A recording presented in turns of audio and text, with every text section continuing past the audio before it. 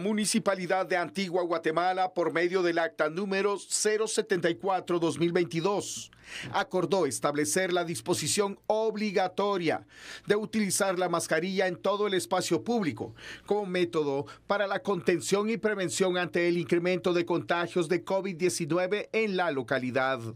Según el artículo 1 del acuerdo, es obligación para todo vecino, ciudadano, visitante nacional o extranjero, así como a la población en general del municipio, permanente o transitoria.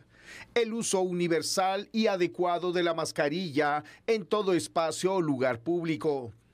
Esta medida incluye establecimientos estatales o públicos, espacios o lugares privados abiertos al público y en cualquier clase de transporte colectivo. La comuna antigüeña indicó que esta medida no es aplicable en niños menores de dos años o a personas que por su condición médica cuenten con la contraindicación certificada por un profesional de la salud.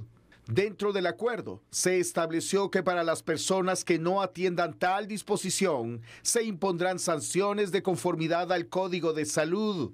Este acuerdo cobró vigencia en la ciudad colonial desde este mismo viernes. Con esta implementación, la antigua Guatemala se convierte en el primer municipio en adoptar la disposición de la mascarilla obligatoria, luego del anuncio realizado en conferencia de prensa por autoridades de salud pública.